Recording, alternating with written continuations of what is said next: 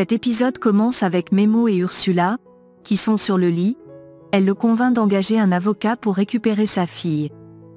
Il se lève brusquement du lit, et lui dit qu'il ne peut pas faire cela à sa fille, car ça pourrait lui causer un dommage. Elle lui demande de ne pas s'énerver, et s'y réfléchir.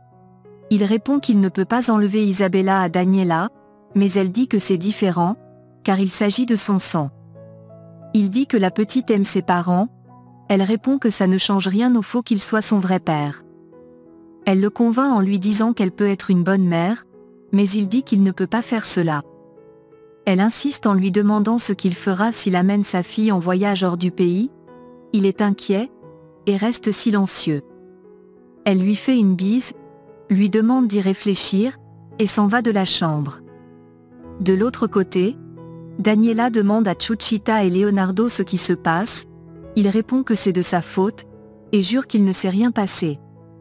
Chuchita jure également qu'il n'y a rien eu. Daniela demande à Leonardo de s'en aller avant que Fausto le voie, car elle ne veut plus avoir de problème. Il s'excuse, et s'en va. Chuchita s'excuse auprès de sa patronne, Daniela veut s'en aller, mais elle la retient, et lui demande si c'est vrai qu'elle a arrêté de travailler avec Memo. Elle lui répond qu'elle n'a pas d'explication à lui donner par rapport à ses décisions, et Chuchita lui promet de ne plus poser de questions. Daniela lui demande ensuite de l'aider à ranger la table pour le petit déjeuner, et elles vont le faire. Au salon, Fausto dit à son épouse qu'il a une surprise pour elle, et lui annonce qu'il a trouvé un nouvel assistant. Elle dit qu'elle veut l'interviewer avant de l'embaucher, il dit qu'ils se verront dans la matinée, et lui promet qu'il sera meilleur que ce camionneur. Il lui fait ensuite une bise, et va à l'entreprise. Au même moment, Juan rejoint Gabriela à l'entreprise, il essaie de s'expliquer, mais elle lui dit qu'elle pense qu'elle aussi était un pari tout comme l'hôpital était pour Sébastien. Elle ajoute qu'il s'est moqué d'elle, il répond qu'il ne jouerait jamais avec elle, mais elle dit qu'elle ne le croit pas, car il est comme son ami Sébastien.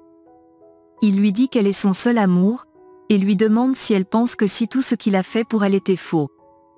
Il dit ensuite qu'il est déçu, et veut s'en aller, mais elle l'arrête. Il lui dit qu'elle ne pense qu'à elle, et ne voit pas ce qu'il fait par amour, puis il prend ses ballons en cœur et s'en va. De son côté, Memo s'apprête à sortir, mais sa fiancée essaie de l'en empêcher. Il lui demande de ne plus lui mettre de pression, et s'en va. Au même moment, Karen dit à Daniela qu'elle n'arrive pas à croire qu'elle ait viré Memo. Elle répond qu'elle l'a fait pour sa famille, mais Karen lui dit qu'elle va le regretter le nouvel assistant arrive pour l'interview. Pendant ce temps, Lupita fait un appel vidéo avec sa sœur, elle lui dit qu'elle est toute heureuse avec Sébastien, et lui demande de ne pas le perdre, sinon elle le regrettera.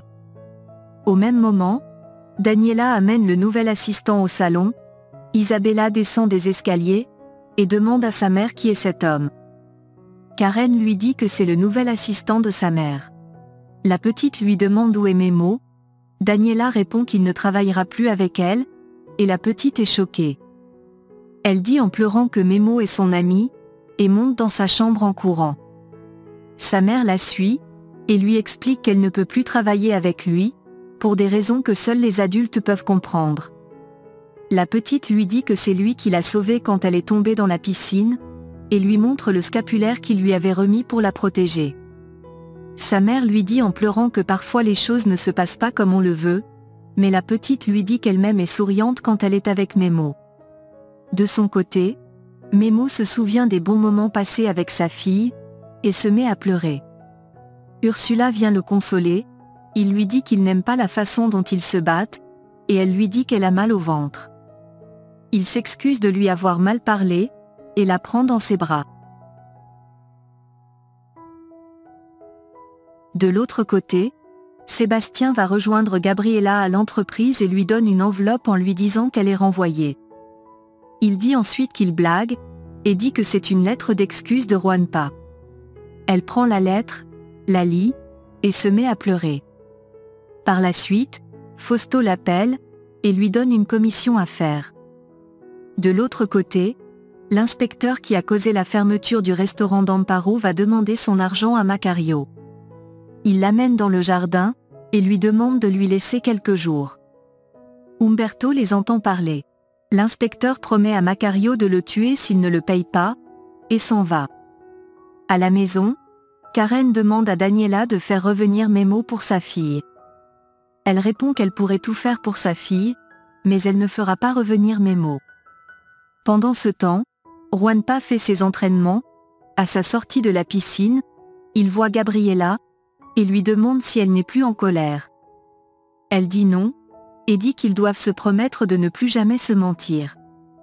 Il lui dit qu'ils sont maintenant une équipe, et que leur amour est un championnat qu'ils vont gagner.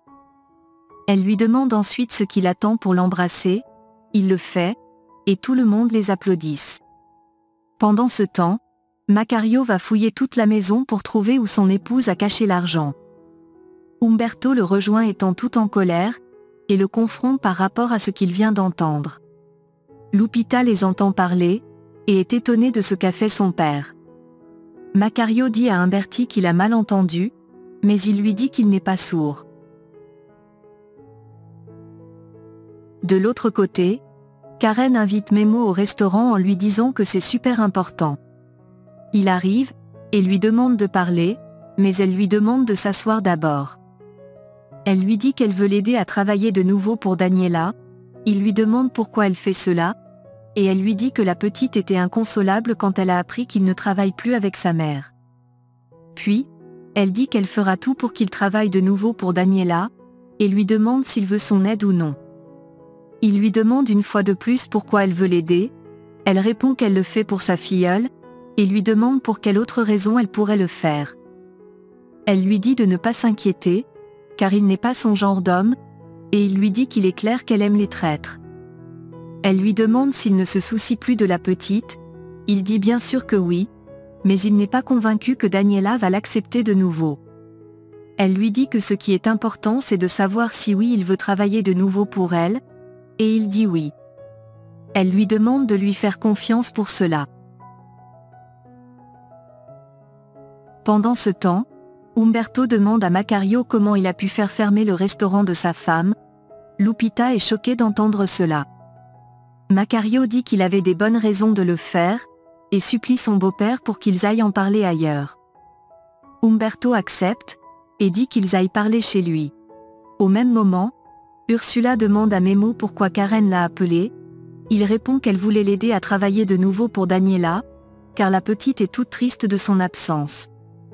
Elle dit qu'elle ne veut plus qu'il soit près de cette femme, mais il lui dit que c'est la seule chance qu'il a d'être près de sa fille. Il lui demande ensuite si elle est avec lui, elle dit oui, et dit qu'elle a constaté que Daniela ne le regarde pas juste comme un employé. De son côté, Macario essaie de convaincre Umberto, mais celui-ci est très en colère, et a un malaise. Gabriela les entend parler, et est toute déçue. Macario lui demande de lui promettre qu'il ne dira rien à personne. Gabriela entre, et demande à son père ce qu'elle vient d'entendre. Pendant ce temps, Daniela donne la liste des plantes à acheter à son assistant, et s'en va chercher Isabella. Macario jure à sa fille qu'il a fait cela pour le bien de leur famille. Elle se met à pleurer, et lui dit que cette terre est leur vie. Il s'excuse, se met à genoux, et dit en pleurant que sa mère ne devrait pas avoir un mari comme lui. Il ajoute de sa sœur, son frère et elle ne devraient pas avoir un père inutile comme lui. Il dit qu'il devait disparaître, Umberto lui demande de se relever, il arrête les mains de sa fille, et lui dit qu'il est sûr qu'elle peut le comprendre. Elle se met également à genoux, il la supplie de ne rien dire à sa mère, et la prend dans ses mains. À la maison, Isabella ne veut pas manger jusqu'à ce que Memo revienne à la maison. Sa mère la convainc en vain, et demande à Chuchita de s'occuper d'elle, puis elle s'en va. La petite refuse toujours de manger, en disant qu'elle veut voir Memo. De son côté, Gabriella amène son grand-père dans sa chambre, et il lui demande s'il va mieux. Il dit que sa fille sera très déçue quand elle va apprendre la vérité, et dit que Macario ne changera jamais. Gabriella lui explique qu'elle a eu des problèmes avec son copain, et ils se sont arrangés de nouveau, mais il lui répond qu'on ne peut pas comparer Macario à son petit ami. Elle dit qu'elle n'avait jamais vu quelqu'un pleurer ainsi, ajoute qu'elle a eu le cœur brisé, et dit qu'elle aime son père. Elle dit qu'il a promis de réparer ce qu'il a fait, lui demande de lui laisser une dernière chance, et dit que cela sera leur secret à eux. À la maison, Daniela travaille avec son assistant, et se souvient de ses moments de travail avec Memo. De l'autre côté, Lupita essuie le sol étant tout énervée, son père vient lui demander un verre d'eau, elle jette la serpillière au sol, lui demande s'il n'a pas de main, et quitte la pièce. Sa mère lui demande ce qui ne va pas avec elle pour qu'elle parle ainsi à son père, mais elle ne l'écoute pas.